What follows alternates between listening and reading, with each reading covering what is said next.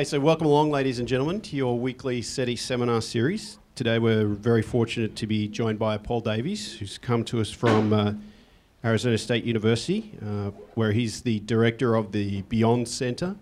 Uh, Paul did a uh, bachelor's in, at, in physics at uh, the University College London, uh, and also his PhD in the quantum theory of Wheeler and Feynman and electrodynamics.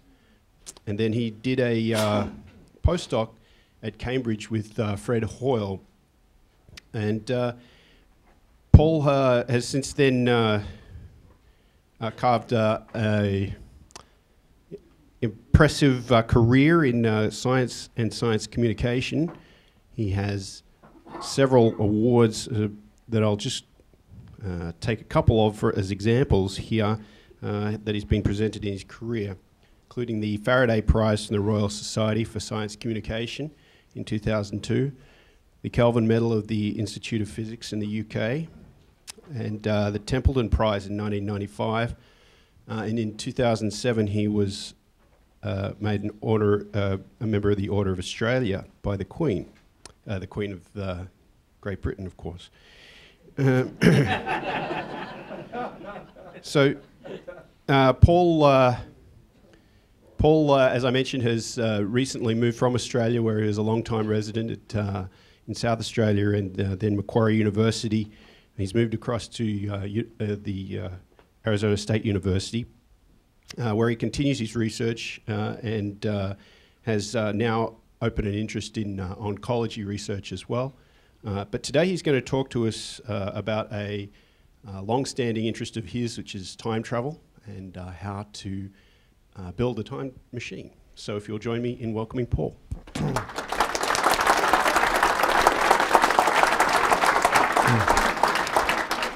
Uh, well, thank you, Adrian, for those kind words of introduction uh, and the remarks about the Queen. uh, ladies and gentlemen, uh, Star Trek fans uh, long have claimed that space is the final frontier, uh, but they're wrong. Time is the final frontier. A hundred years ago, uh, space travel and time travel were just so much science fiction. Today, space travel is commonplace. So could it be that in another hundred years, time travel will also be commonplace? Now, the great thing about time travel is it's very easy to imagine. You step into some machine or some sort of box, you press a few buttons, and you step out again, not just somewhere else, but somewhen else. Very easy to imagine. But can it really be done? Well, I hope by the end of the lecture this evening, I shall have convinced you that the answer to that question is a resounding maybe. the, uh, the subject of time travel uh, really took off with the trailblazing novel written in 1895 by the science fiction writer H.G. Wells, The Time Machine. Uh, and that sort of set the gold standard for what time travel would be like and what time machines would be like. We could almost think of this as the archetypal time machine, as this cartoon makes very clear. but, but it does have a sort of Victorian contraption air to it. And so these days, the basic story of time travel has been copied again and again and again, uh, but these days in rather more of a technological guise. And I suppose any particular year, there's another time travel story or another time travel movie. Lots and lots of them coming out. Uh, but that's, uh, that's fiction. Uh, if time travel could be done, what would a time machine really be like? Would it be like H.G. Wells? This is the remake, incidentally, by the great grandson of H.G., Simon Wells, the remake in uh, of the Hollywood movie in 2002, still with that sort of Victorian uh, feeling to it. So would it be something made of brass and lenses and, and, and light and, and levers and maybe steam coming out? Uh, or would it be more like the DeLorean car of uh, Back to the Future? Or better still, would it be like the famous police box in the Doctor Who series? Now, when I'm talking about this in the United States, I usually have to explain what is a police box because I don't think they ever existed here. And in fact, very few of them existed in Britain. But when I was a lad growing up in London, uh, you'd see these things. Now, the traditional British telephone box is, looks like that. It's a red box, you see, but the police wear blue uniform and they wanted a blue box for themselves. And so they used to go in to make telephone calls. That was before the days when the British police forces could afford two-way radios or, or cell phones, I guess they use now. So that was their means of communicating. And then, of course, technology overtook it, and these police boxes rather disappeared. So I wrote a book on time travel in, uh, I think it was 2002. And uh, the, the, uh, one of the London newspapers said, well, we must you know, do some publicity for this uh, book launch. Let's uh, go and find a Doctor Who-style police box. And we scoured the whole of London. And for those who are interested, just outside Earl's Court Underground Station, there remains a police box. Uh, there it is in the bottom left. It's still there. So we did a photo shoot and that you could imagine that the vehicles passing by were sort of slowing down, seeing me standing there being photographed. Obviously thought I was being auditioned for the next part of Doctor Who, but sa sadly not. It was just, uh, just the book launch. Um, but uh, all of these are uh, ways of imagining how we might use some sort of technological gadget to transport us through time. So the idea is easy to visualize, uh, but the question is, uh, what, where is the science fact underlying this? Well, it was only 10 years after H.G. published his uh, trailblazing novel uh, that Albert Einstein came along with his special theory of relativity, published in 1905. And that theory is fundamentally a theory about the nature of time, or space and time. Uh, but the centerpiece of the theory, for, as far as our story is concerned, is Einstein's claim that time is in some sense elastic. What does that mean? It means that time can be stretched or shrunk depending on your frame of reference. It means, briefly, that your time and my time can get out of step. Very simply, we merely need to move differently. And I'll just demonstrate this here. I just need to walk up and down. Uh, my time, that is that in my frame of reference, uh, the duration between two events, like me turning around at each end, is different from the duration that you judge it to be. The only thing is this difference is so minuscule that nobody's going to notice. Now, if I were to get on a plane and fly to London and come back again, I take an accurate clock with me, and I'm talking about clocks which are really off-the-shelf technology, not anything super-duper fancy, uh, then when we compare our clocks at the end of the journey, they will be discrepant by a few billionths of a second. So hardly a Doctor Who style adventure, a few billionths of a second, but nevertheless easily measurable with modern technology. So there's no doubt about this prediction that Einstein made in 1905 that time is affected by motion. There's no doubt about it. It's, a, it's simply uh, a fact. It's a done deal. We've done it. Uh, but to see what that actually means in terms of time travel, uh, let me just uh, uh, illustrate this by um, a, a, a, parable. So first of all, here is me jetting off, well, you can't do it by Concorde anymore, jetting off to London, and in effect, time, the time runs slower in the airplane.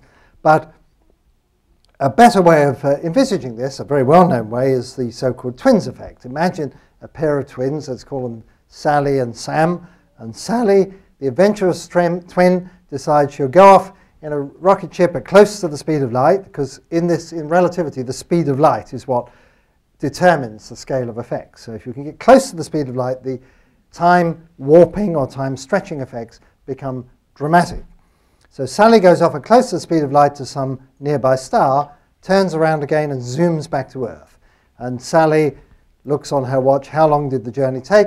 The answer is two years, say. Uh, but when she gets back, she notices that in the two years in the rocket, 20 years have elapsed on Earth.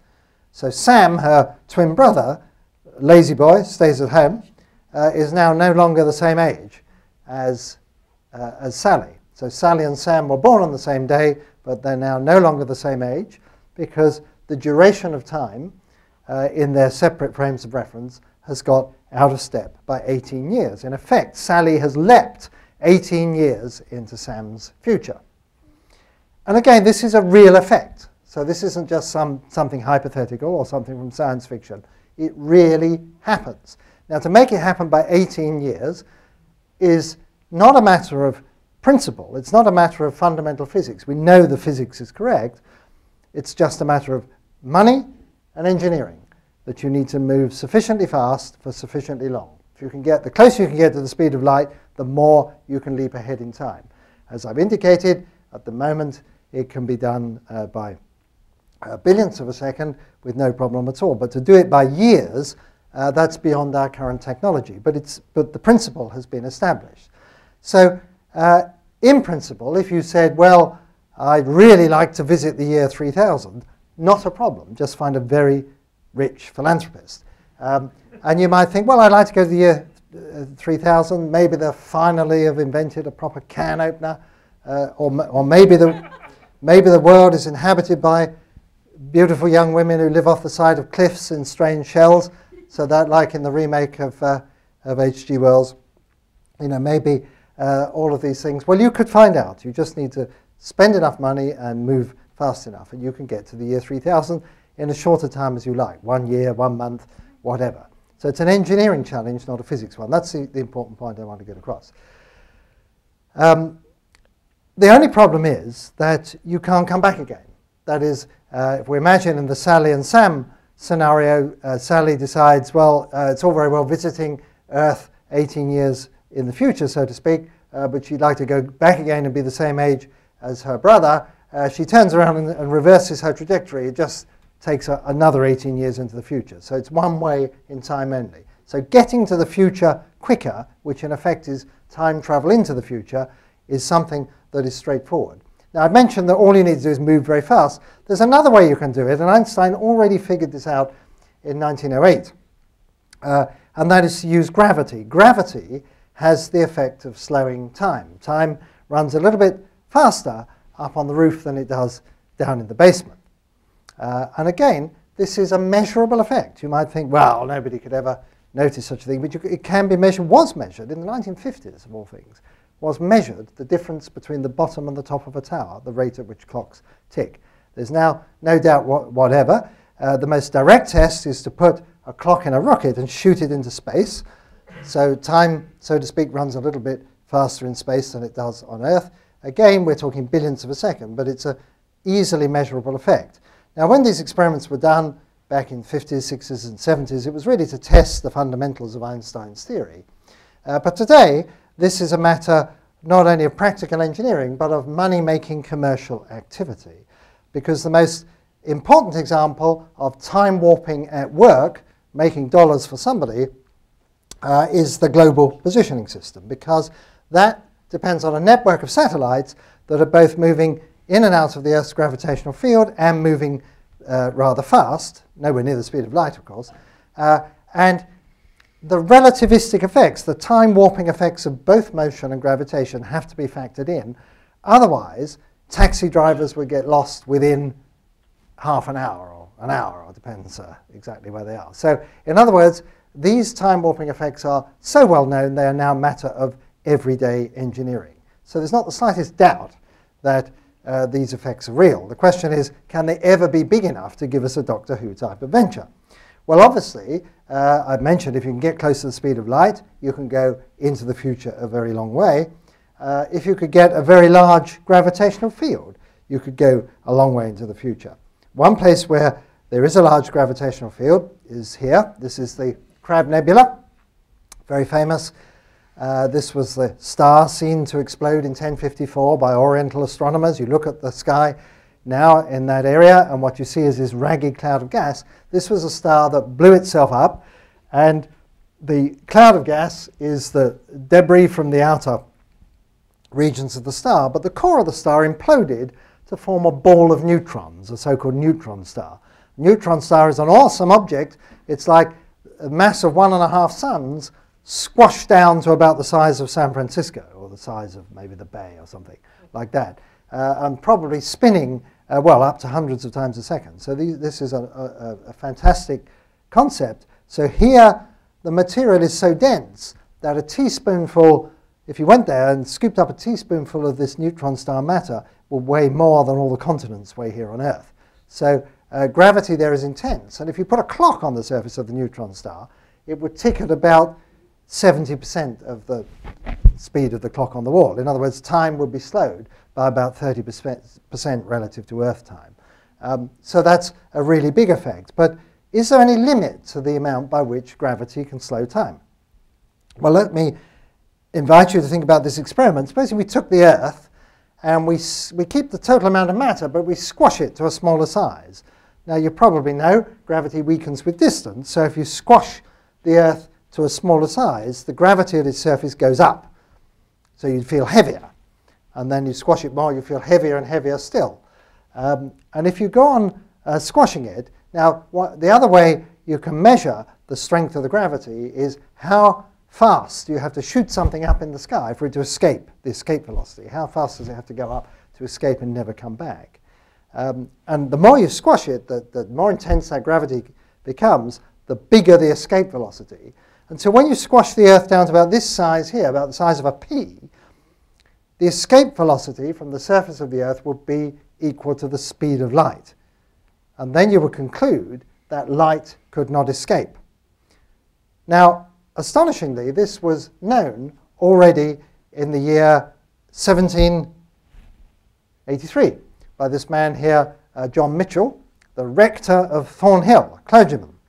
Uh, and he applied Newton's theory of gravitation, is before Einstein, Newton's theory of gravitation, to work out how big a star should be or how compact a star should be in order that light should not flow out of it. He said quite explicitly that light could not arrive at us. So he predicted the possible existence out there in the universe of black stars, stars that were black because their gravity was so intense it would not let life, light escape. Now, one way of thinking about this uh, is that if um, we think about gravity as slowing time, and here we are on Earth, time is slowed, is slowed, is slowed, uh, so everything's moving slower and slower and slower relative to us. So it could get to the point where light could not escape because light is in effect trapped. It cannot move or make any progress out towards us because time stands still there, time is frozen. And for John Michell, this was uh, not, not his way of thinking of it in terms of time, but after Einstein, that's the way we think about it. And we no longer call these black stars, we call them black holes. Black holes are the ultimate time warp. A black hole, the surface of a black hole is, in a careful sense, you have to be careful, uh, relative to us, a place where time stands still. So it's an infinite time warp. So if you were to go very close to the surface of a black hole and, and reside there uh, for a year or two years or ten years, and then come back out again, uh, you would find that an enormous duration had passed in the outside universe. And if you were unfortunate enough to fall into the black hole, to cross the horizon, then all of infinite future would have passed by in the universe outside. So one of the reasons that a black hole is a one-way journey to nowhere, you can fall into it but you can't get out of it, is because if by the time you've fallen in, everything that can happen in the universe outside has already happened, then you couldn't come out again because to do so you'd have to come out before you fell in. but, you see, that's the key to going back in time. That's, that brings me on to the next part of, of the talk because going forward in time, uh, as I've said, is a done deal. We've done it, not in very exciting amounts, but nevertheless, we know in principle that we could travel forward in time for as far as we want it. But going back in time, that's a tougher proposition. So that's what I'm going to come on to now, uh, traveling back in time. And so the wormhole uh, gives us, uh, the uh, black hole rather, gives us a bit of a clue. But the, there's a history to this, which I'll just take you through, because when Einstein first formulated his general theory of relativity, he was really worried about the possibility of travel back in time, because he knew that would unleash all sorts of paradoxes that I'm going to talk about in a moment. Uh, he didn't want it. Basically, he was uh, uh, uh, opposed to the idea, but he couldn't prove there was nothing in his equations to show that it was impossible. Uh, now, you probably know that in the 1930s he moved to the United States and he had a job at Princeton University. He was very old by then, uh, and not many people used to talk to him. He was a rather isolated figure. Uh, physics had moved on, and people were working on particle physics, quantum physics, things like that. Um, and so Einstein used to say that the only reason that he went to work in Princeton was to walk home with Kurt Gödel. Now, Kurt Gödel uh, is an interesting character in his own right. Gödel was an Austrian logician, a mathematician, did some of the most profound work in the foundations of mathematics. But evidently, when he was chatting to Einstein, uh, going home, uh, then they must have talked a bit about space and time and relativity and so on, because Gödel in 1949 produced a solution to Einstein's equations that indicated that you could indeed travel back in time using a gravitational effect. And the effect he had in mind was somewhat unrealistic.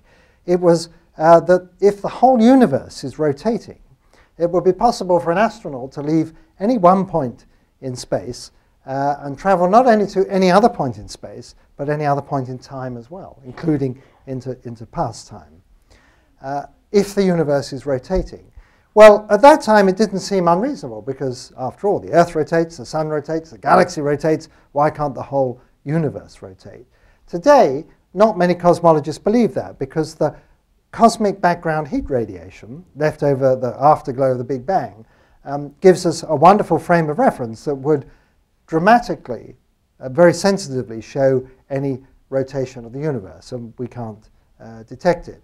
Incidentally, um, Freeman Dyson, uh, who uh, uh, was also Princeton at this time with, um, uh, with Gödel and, and Einstein, told me recently that when, he, um, when he first went to Princeton, Gödel was one of the few people, people who would talk to him. And, and this idea that you could have a time machine by a rotating universe uh, was not just uh, an idle speculation. He was really uh, seriously interested as to whether this was a possibility. And he would phone Dyson from time to time to say, Have they found it yet? Have they found it? Meaning, have the astronomers found the rotation of the universe? Um, anyway, today, uh, not many astronomers really believe that, but there are other possibilities uh, for time travel. And the most popular one is the wormhole in space. Now, a wormhole um, is like a black hole, only different. I've said a black hole is a one way journey to nowhere. You can fall in, but you can't get out again.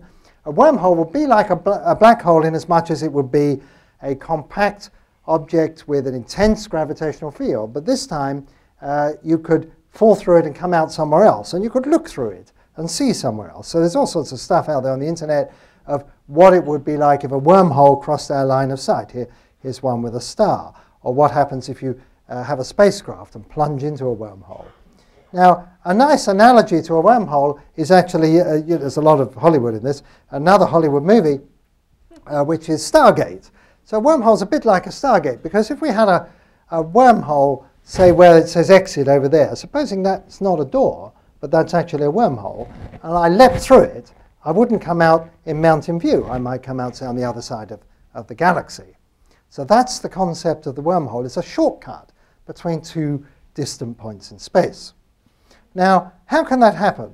So let me just uh, teach you a little bit of general relativity here on, on, the, on the, the run. Um, I've mentioned that gravity warps time. That was one of Einstein's central predictions. Uh, but it also warps space. And people have difficulty understanding how can space be warped, because space is sort of everywhere. How would you notice? Because we can really only think in two dimensions. But um, what space being warped would amount to is the following. Imagine drawing a triangle around the sun, a flat triangle. I'm not talking about a warped triangle, a flat triangle. Now, back in the good old days when students used to actually learn geometry at school, do you remember that, some people? Right? Okay, we used to learn that the three angles of a triangle add up to uh, 180 degrees, two right angles. So that's part of Euclid's uh, geometry. Uh, well, if you draw a triangle around the sun and measure those angles carefully, and people have done this, not literally with a drawing a triangle, but they've done it with radar and uh, fancy techniques, uh, then the angles uh, add up to just a little bit more than 180 degrees. And so um, one way of expressing this is that the sun warps the space in its vicinity, or that the sun's gravitational field manifests itself by warping both time and space. So space can be warped. Sometimes you hear the term that it can be curved. Now, the difficulty about presenting talks about curved space is always that um, I, I, can't show you a picture of curve, curvature in three dimensions. I can only ever show you two dimensions. So just go with that for a, a moment, and I will show you what a wormhole looks like in, uh, if we had two dimensions uh, to represent three. And so what you see here is a curved sheet. Um, if I had a sheet, here we are, let me demonstrate this. Supposing uh, this is uh, space, uh, three-dimensional space represented just by that two-dimensional sheet. And what you're seeing here is it being curved around like this such that two points come together and touch uh, and with the throat of that wormhole.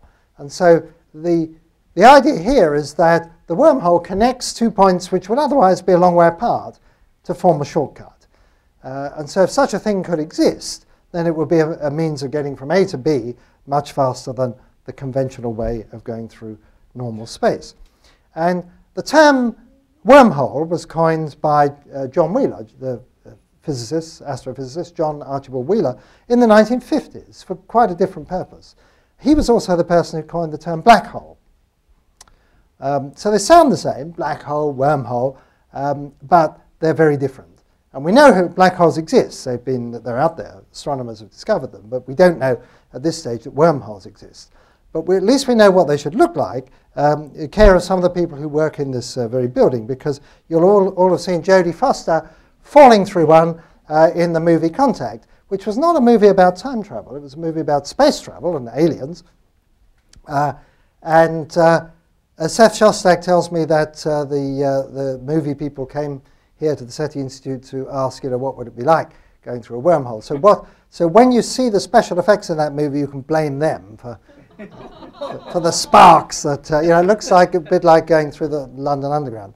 Um, but but anyway, the, the point is not what would it really look like, but, but can these things actually exist? Now, um, I've said that, that, that if a wormhole exists, it's like a shortcut between two points in space. But why is it also a time machine? Well, uh, here's uh, Jodie uh, falling into the wormhole, uh, and uh, she's, uh, she's got to fall through from A to B.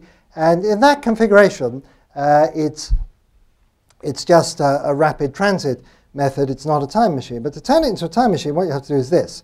Um, you have to take this, this wormhole and bring, is one way of doing it, bring a neutron star close to one end of the wormhole, one mouth of the wormhole.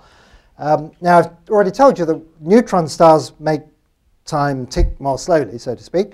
And so if you position it at one end of the wormhole, then there'll be a discrepancy between the clock rates at one end of the wormhole A and the other end B. And then if you take after a while, take the neutron star away again, you'll have a permanent time difference between A and B. So if you jump through the wormhole in one direction, you'll go, say, 10 years into the future. And if you jump through in the other direction, you'll go 10 years into the past. And now that raises the exciting possibility that you could jump through from A to B and go, say, 10 years into the past, and then zoom back through ordinary space where time isn't especially warped, and get back to A before you started out. In other words, you could not only visit the past, but you could visit your own past. You could go back uh, to a time before you went through the wormhole. Uh, so physicists call this closed time-like world line. So won't get into the uh, terminology.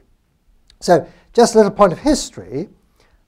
The movie Contact was based on Carl Sagan's famous novel of the same name. Uh, and it was primarily, as I mentioned, about SETI and aliens and, uh, and uh, space travel.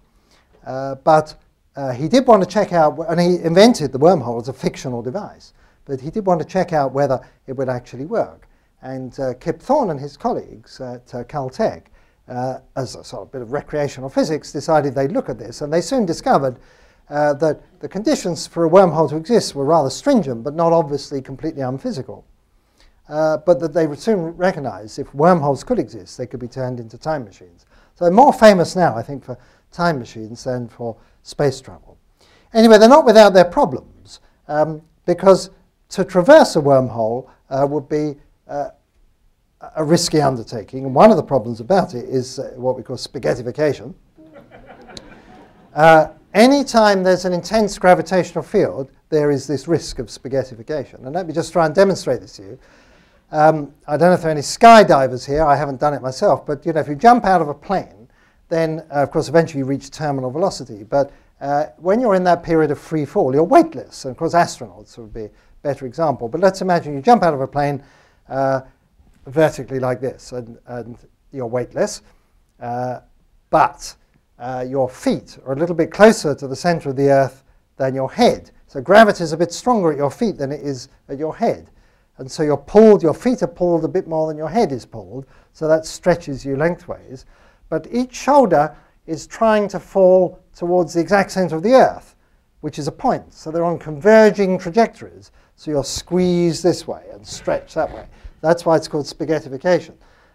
Uh, you wouldn't notice the effect jumping out of a plane, but you try jumping through uh, into a black hole or a wormhole, and this effect could be totally huge.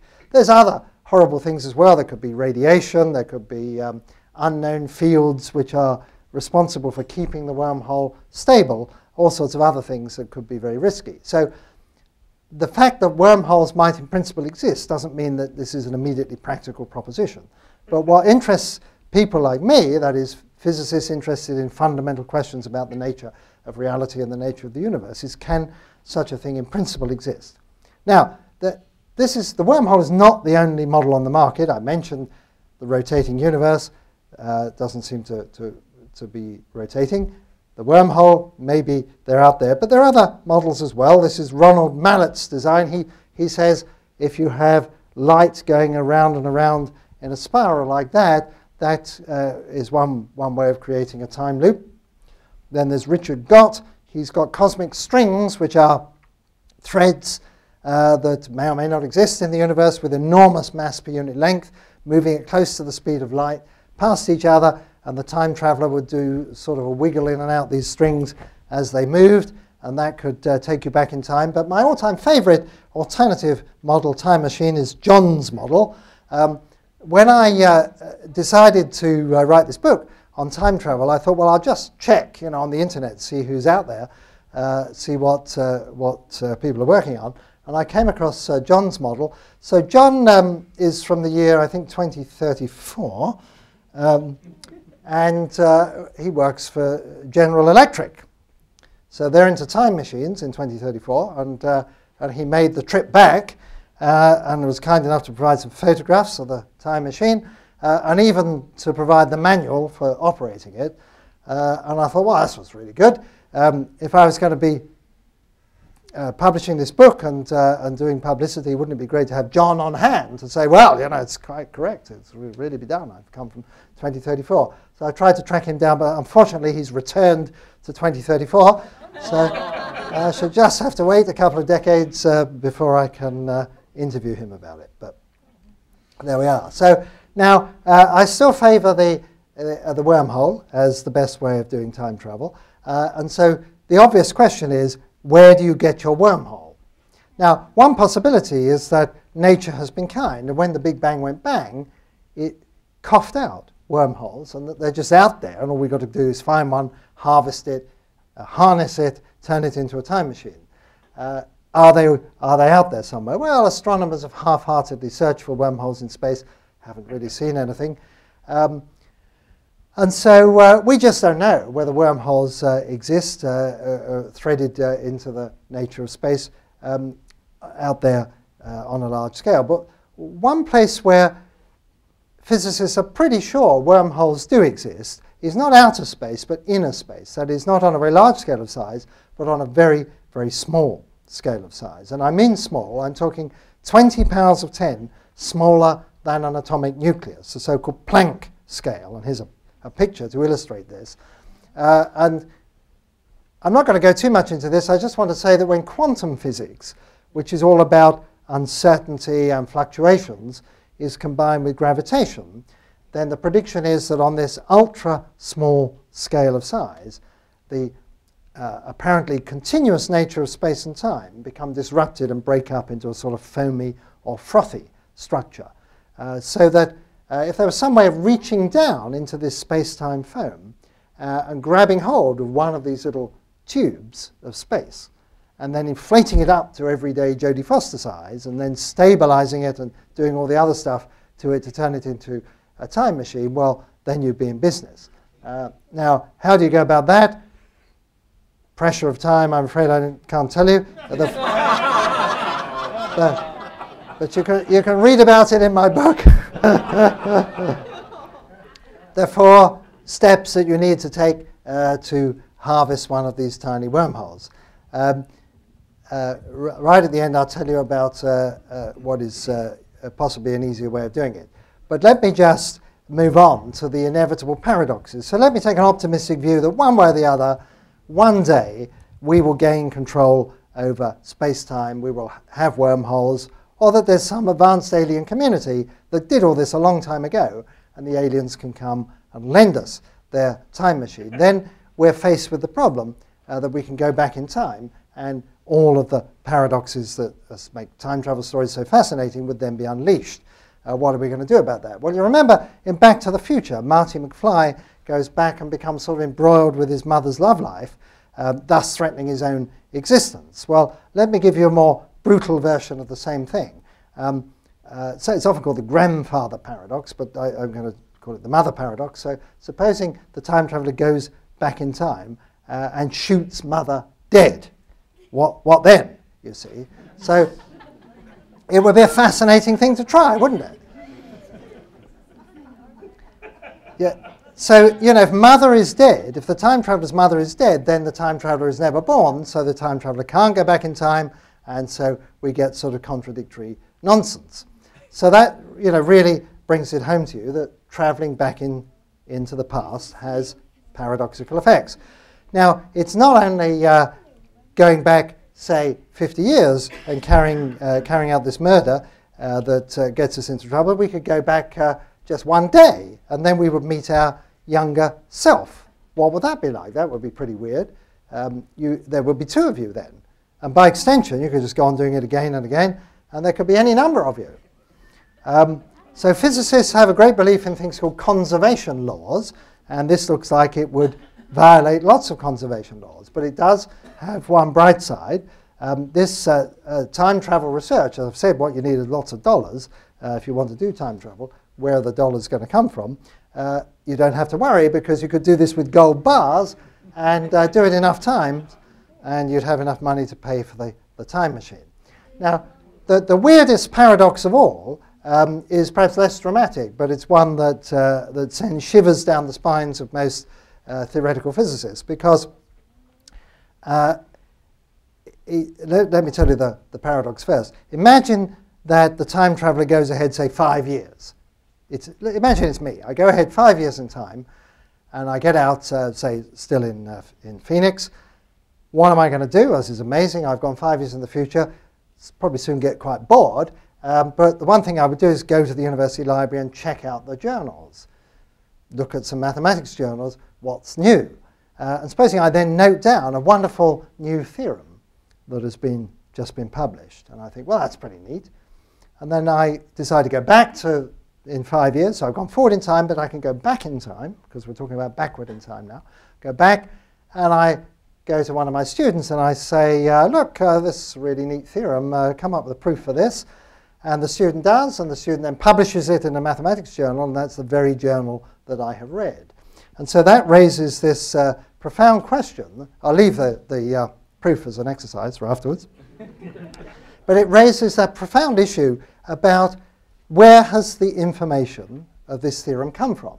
It didn't come from the professor or the time traveler because he just read it in the university library, but it didn't come from the student because the student learnt it from the professor. So here is knowledge, not just information, but knowledge that's come into existence in the universe from nowhere. And so that seems deeply anti rational. So scientists who believe we live in a universe that's rationally ordered uh, then uh, gets very upset by the, the prospect that we could have these sorts of causal loops that would introduce into nature this type of informational chaos. And for that reason, a lot of famous scientists say time travel is impossible. Here's, here's one, though Stephen uh, keeps changing his mind. He likes to do U-turns. Um, and I think he's changed his mind on this one a couple of times. I'm not sure where he's at at the moment.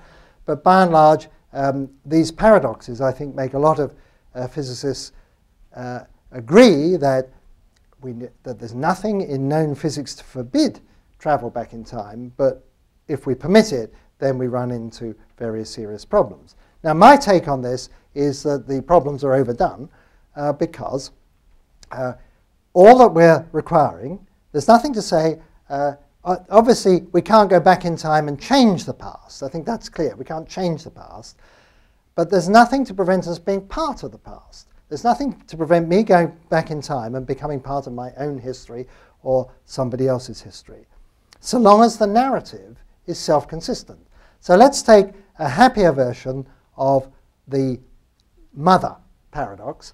Supposing I go back in time and I save a young girl from being shot dead, uh, and then that young girl grows up to become my mother, then that's self consistent. So this is the other version, so then everything's just fine.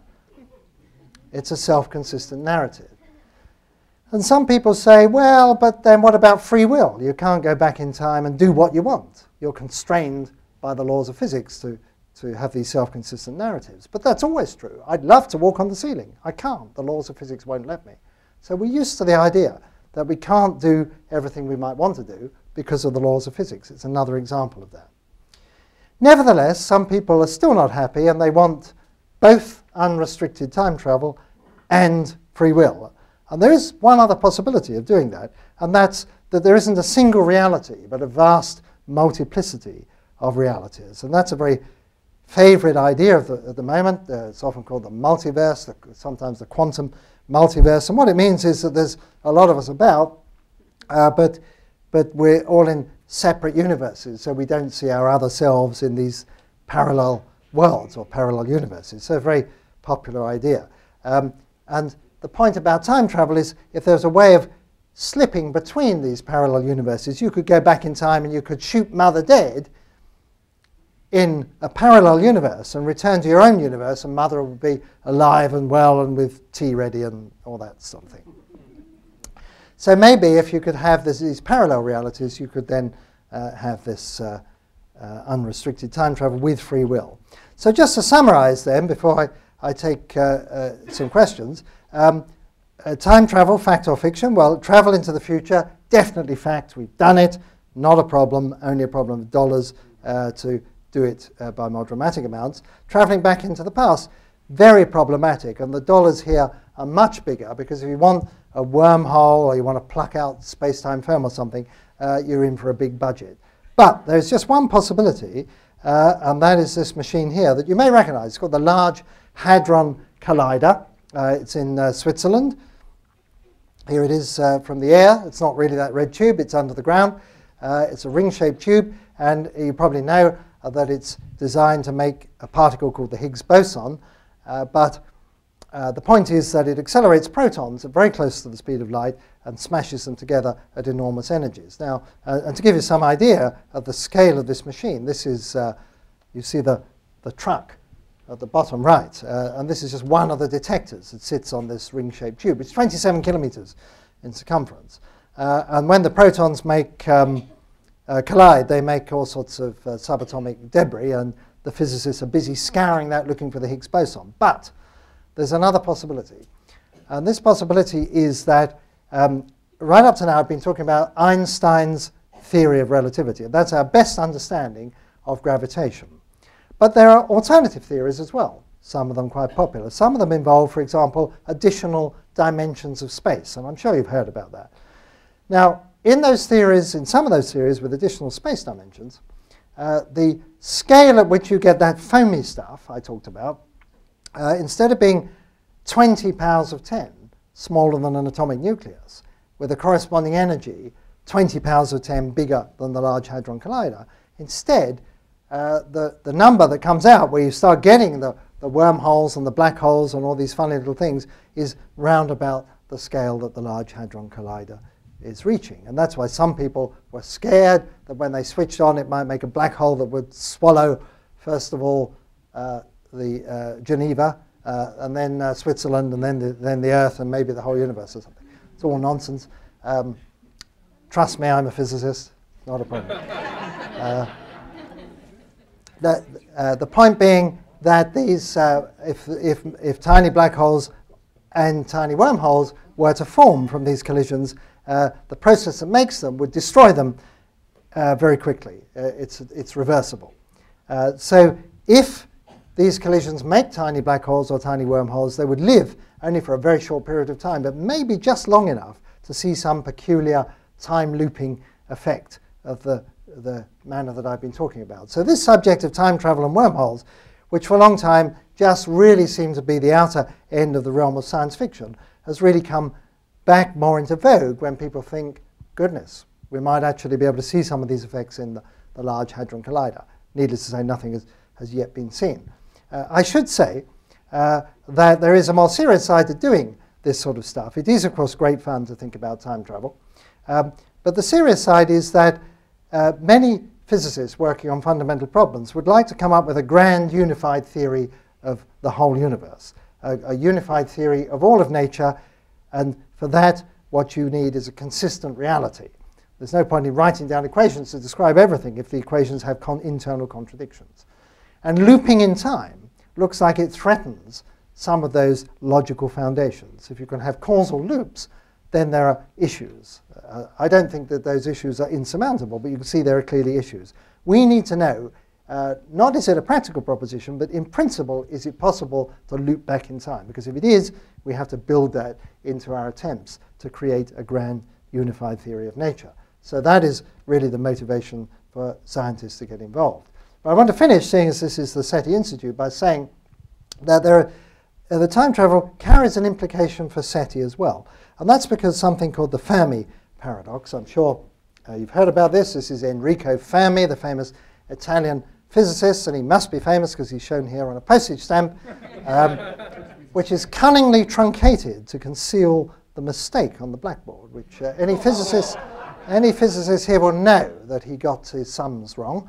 Uh, but uh, uh, anyway, he was certainly a genius. And, and he, in the late 1940s, um, referred to the fact that, that the world wasn't teeming with alien beings as uh, he felt evidence that there were none out there because they've had plenty of time to come here. Uh, and the point is uh, that if you can have time travel as well as space travel, then history and geography really just become part of the same thing. And so the Fermi paradox now gets worse because it's not a question of why haven't aliens come here from other parts of space, but why haven't they come here from other parts of time as well? Uh, and so it opens up uh, that whole issue. It, uh, uh, uh more forcefully concentrates our attention. So there is a SETI dimension, I think, and a Fermi paradox dimension to time travel. So I think on that note, I'll say that this is uh, the end, or perhaps it is, in fact, only just the beginning. Thank you.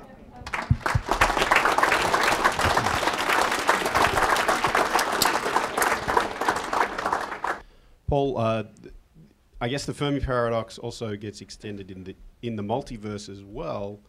If it's possible to do time travel backwards, why have we not seen that in our version of the multiverse? And what why would our part of the multiverse be different from other? Right, right. Uh, once you're into the multiverse, you're into all sorts of problems because in a multiverse, if it's big enough, anything that can happen will happen. And so then there's a whole set of paradoxes as to why we do or don't see certain things. And the most, we won't get too technical, most famous of these is called the Boltzmann brain problem, that if, the, at least in some of these multiverses, they will have infinite futures. And then uh, there's always an exponentially small but non-zero probability that in the, the vacuum, quantum vacuum state of the far, far future, um, particles will spontaneously appear and assemble themselves into a brain that will have experiences. And because there's an infinite future, there's infinitely more Boltzmann brain experiences than humans on Earth experiences. So why aren't we Boltzmann brains? Why, why do we find ourselves such atypical observers? All sorts of things like that. But, but leaving aside the multiverse, which I think opens a whole can of worms, uh, one possible resolution as to why we don't see time travelers from even our own future uh, is that in all of the designs that I've talked about of um, time machines, you can't use them to go back before the time that you make the machine. So with the wormhole, you know, you put the neutron star at one end, um, and then uh, you could imagine in the far future that you could go to the supermarket and buy a time machine, Uh, and a 100 year time difference machine would cost you more than a 10 year time difference machine. So you move the neutron star in, you leave it there for 100 years, and you put a 30 year time difference in, and you take it away again. So you can now go back 30 years, but you can't go back more than 100 years. So our descendants could not come back now and say Davies got it right. Um, but, of course, if there are alien communities that have been around for a long period of time, they could have made a time machine a long time ago, uh, and they could lend it to us. Or they could come back from their own future, so long as their ancestors made the time machine before now. Uh, so one way around it is that you can say, well, uh, that, that if there are alien communities, that they're not that far along, farther ahead than us, that they made time machines a long time ago. Or the time machines are impossible, or you know, there's a number of other ways of, of getting around it. Um, it occurs to me with wormholes. Um, wouldn't wormholes imply a very large mass? I mean, a mass large enough, I mean, to have the curvature of space be gentle enough that you could go through it and have the throat be big enough that you could fit through it without right. being torn apart. I mean, isn't that like thousands of solar masses? Right, it's, a, it's a large something, but it turns out uh, uh, paradoxically that what you actually need to hold the throat of the wormhole open is something like negative mass or negative energy or negative pressure. Um, because the, if you think about the whole black hole thing, what you've got is, is an object that implodes because its gravity is so intense. So you don't want everything to shrink down. You want to, you want to hold the throat of the wormhole open. So you actually need something like anti-gravity in the throat of the thing. Gravity around it, but anti-gravity in the middle to stabilize it. If you're far away from the wormhole, it's still looking like it's a large black hole. Oh yes, yes, yes. It's going to be a very large mass. So the large positive and negative masses assemble. So yeah, absolutely. A far, uh, observer sees a large mass. Uh, yes. So if we were looking for a wormhole in space, we'd be looking for a large mass with certain sorts of light bending and light uh, chromatic effects. Yeah. Yes. Um, as for, um, if you remember the famous OPERA um, incident where the physicists thought that the neutrinos had gone faster than light, but it turned yes. out it was time dilation. So my question is, how would you cancel the facts of time dilation? So it appeared, so even if it appeared that the time machine is going faster than light, if there was still time dilation, you would realize that after a while, no, uh, that it wasn't going faster than light. Right. So the OPERA experiment that this young gentleman is referring to is an experiment performed at CERN, the same place with the Large Hadron Collider.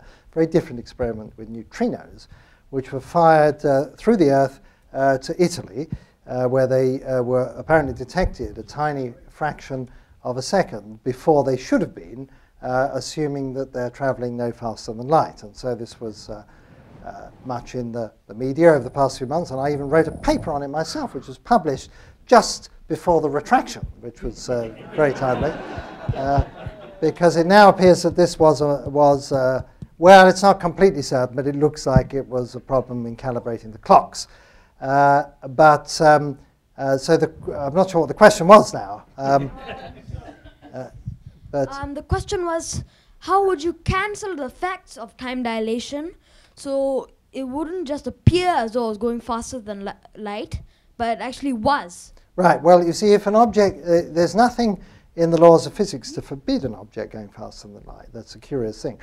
They, the theory of relativity says you can't break the light barrier. So you can't start off slower than light and then zoom faster and faster and go through the light barrier and then travel faster than the light. But it doesn't say, uh, there's no reason why you can't have objects that always travel faster than light. And they're called tachyons. We don't know that they exist, but they could exist. And I mentioned the paper I've written. So the paper is based on the fact that if tachyons can exist, they'll have been made in the Big Bang. And so then you have to think what happens as the universe expands, what happens to these tachyons. And so that's a different story. But ta if tachyons can exist they, and travel faster than light, you could use them, in principle, to signal, not to travel back in time, but to send signals back in time. So I could send you a tachyon message faster than the light, and you could send me back a tachyon message faster than the light. And if we're moving in the right way, we can arrange that your answer comes back before I send my question. And so then that, that gets you into the same type of, of loop. So yes, uh, it doesn't have to be a, a wormhole, doesn't have to be a time machine, just has to be a tachyon, and we're already in trouble. What about the paradox that if you just go back in time, you've just changed time by being there, and you're in a different version of time with a different version of you and future you. Right. So then you would instantly just vapor be disap- disappear. So you'd need some way to combat that if it's true or. Well, I'm not sure about the disappear bit, but uh, you know, at the end, I said that if there are, there's not just one world or one reality, there are many of them, and this is a popular idea. There could be many parallel realities, all slightly different.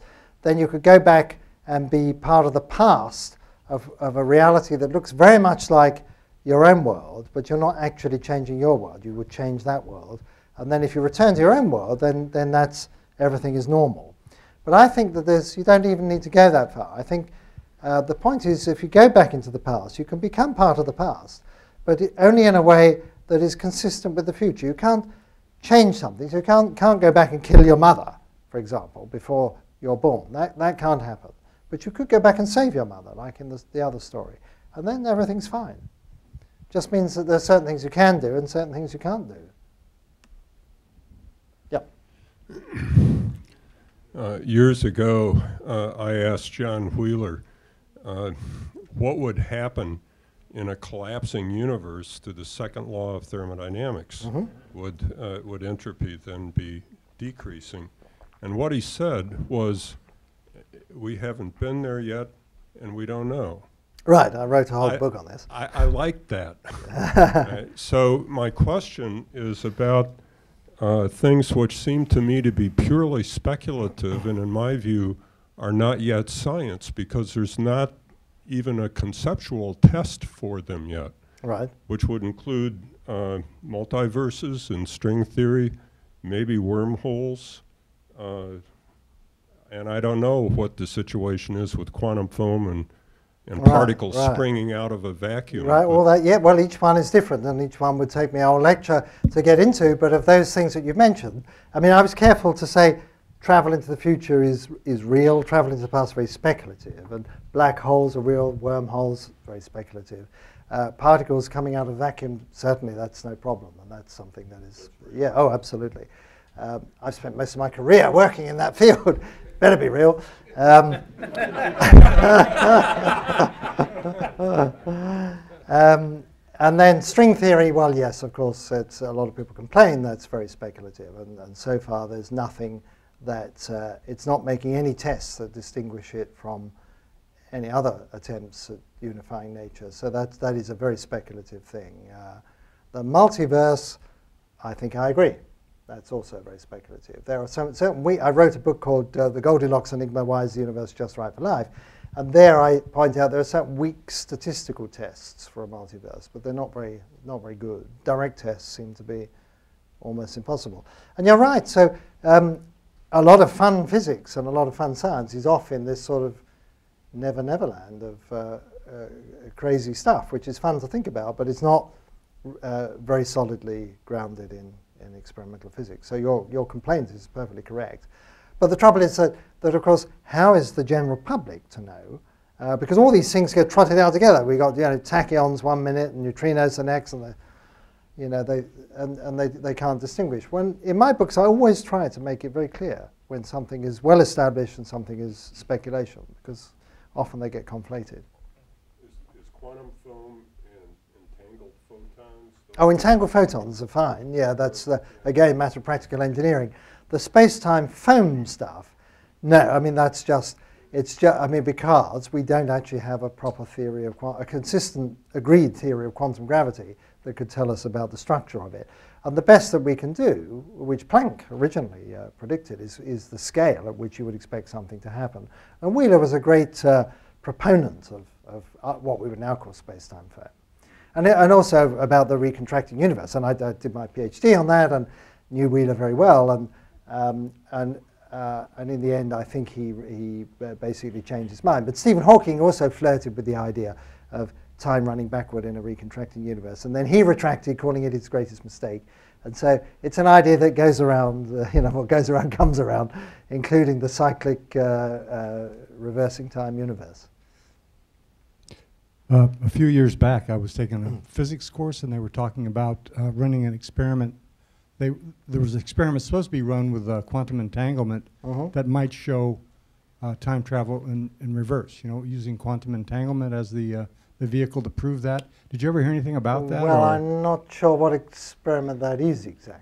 I, I don't remember the exact experiment. I just know they were going to run it. uh, and I are never you heard anything referring about to, it, to Wheeler's delayed choice experiment? Yes, I think so. But that was done. It was in fact performed by Carroll Alley at the University of Maryland. was that about three years ago? Uh, no, it was actually many more years than that, but it's been done a few okay, times. okay. Uh, and uh, uh, the, the important point, uh, there's a very subtle point about quantum mechanics. The important point here is, is not that you are able to do an experiment that changes the past. Um, the point is that in quantum physics, uh, because of the uncertainty, we used to think of, of the future as uncertain. So we prepare a uh, quantum state, say it's an electron moving in a certain way, and we're, we're used to the fact that we can't say definitely where it's going to be at a future time. But the same thing is true in the past. We can't say where it was in the past either. Uh, so we, we like to think there's a definite history, for example, a unique pathway connecting, say, the Big Bang to the present moment. That, the, that in other words, there is a single unique history. But in quantum mechanics, that isn't true. So if you apply quantum mechanics to the universe as a whole, there's, there is no unique history. So when we look back in time, when we, look, when we do measurements that inform us about the past, what we're doing uh, is resolving some of that ambiguity. So there's a difference between resolving an ambiguity and affecting the past. You can't use it to send messages back in time or to change what's in the past. All you're doing is saying the past is fuzzy, and what we do now affects the nature of reality that was in the past. Now, it's a subtle point, but I've written a great length about it in, my, in, in the book called The Goldilocks Enigma, I already mentioned, towards the end, all about Wheeler's delayed choice experiment, what it really means, and how this changes our notion of the nature of the past, but it doesn't provide a way of changing the past. So it's in that book. Very subtle, I'm afraid. Yeah. Well, at the, at the risk of um, showing my lack of knowledge, all right. I'll, I'll throw out this There's question. a lot of things I don't know. Well, um, does it make any difference in having this uh, time effect, the slowing down of time, uh, whether you are accelerating towards the speed of light or close to it, or whether you're going, you, say you got to the speed of light and then you just keep going at a constant velocity Right. near the speed of light? Right. It's, uh, it's actually elementary mathematics to, uh, to work it out. To me, No, no, no, no, no. Uh, I'm talking about you know junior high school level mathematics. It really is very, very simple, You- and, and the formula is very simple, and it doesn't require anything uh, uh, except elementary algebra. Well, for that one, you actually have to be able to perform a simple integral, but that's all you need to do, and then you can work out precisely uh, what the time warping effect is along that trajectory. And uh, basically, the story is that if you continue to accelerate, of course, you're getting closer and closer to the speed of light, and that makes the time warping effects even greater. So if you accelerate at 1g, for example, for a year, uh, I, Fred Hoyle once told me the answer. I can't remember what it was, but, but you know, the effect is enormous. Uh, you're traveling so close to the speed of light, the, the time warping effect is, is really enormous. But another statistic to remember, which I found very arresting, is cosmic rays are particles moving very close to the speed of, of light. And if you take the highest energy cosmic rays and imagine you were traveling with one of those particles across the galaxy, it would take only 15 minutes in your frame of reference to cross the galaxy, which is quite something, isn't it? They're moving so fast. Um, I was looking at some Feynman diagrams, and the implication of quantum tunneling, uh, an electron implies that the electron's going backward in time. Is that true for quantum tunneling? Uh, the, yeah, I think uh, the, you mixed up a couple of things there. Uh, so Feynman had the idea that a positron might be an electron going backwards in time. It's not quite the same thing as quantum tunneling, but seeing as you raised quantum tunneling, because that's another research interest of mine, I've written some papers on that. Um, there's the old question about how long does it take a particle to tunnel. So for people don't know about quantum tunneling, um, so I presume behind there there's a window. Okay, so now if I got um, a rock and I threw it at the window, it might very well smash the window and go through, or it might, uh, if it's a tough window, might bounce off. What we wouldn't expect is to find the rock on the other side of the window without the window being broken, but that's exactly what happens with quantum tunneling. You find an electron at a barrier and it appears on the other side without having shattered the barrier or apparently surmounted the barrier. So, um, and it's a real effect, of course, very well known. Uh, and then the question is, when it disappears from one side and appears on the other side, how long does that take? Uh, and that's a very difficult problem. Not difficult in the sense of um, the mathematics is hard, it's just difficult to decide what are your criteria for measuring the time interval. And you know, I've got my own take on that. It would get too technical to talk about it. Um, but, but there's nothing going backward in time. But there was an experiment that was um, done a few years ago which gave that impression perhaps, which was sending, in this case it wasn't an electron that was tunneling, it was a photon. Uh, a photon can also tunnel through barriers. And so it was a, an experiment where, um, a quantum interference experiment, where one path went like this and another path went through a barrier like that. Uh, and then you could take the barrier away and put it there. And you would expect putting the barrier there would slow down the photon taking that path. Did the opposite, sped it up. And you thought, well, if it's traveling at the speed of light and it's now getting there faster, doesn't that mean it's going faster than light? The answer is no, but for, for all sorts of subtle reasons concerning the shape of the wave pulse and, and other things. But there are these effects in quantum mechanics that look like they're very, coming very close uh, to, in some way, uh, breaching the light barrier. But when you look at the fine print, you find they never actually do it. Okay, probably. Uh, I'd encourage you all to uh, come and chat to Paul uh, for briefly. Anyway, Yes, he's got to catch minutes. a flight uh, back to Arizona, and um, to make sure you can take this time Oh. machine along and make sure you don't miss your flight or something like that. I'm sure Thank it's you. hidden in Yes, there. thank you very Instructions much. there. Thanks, Thank Paul. you.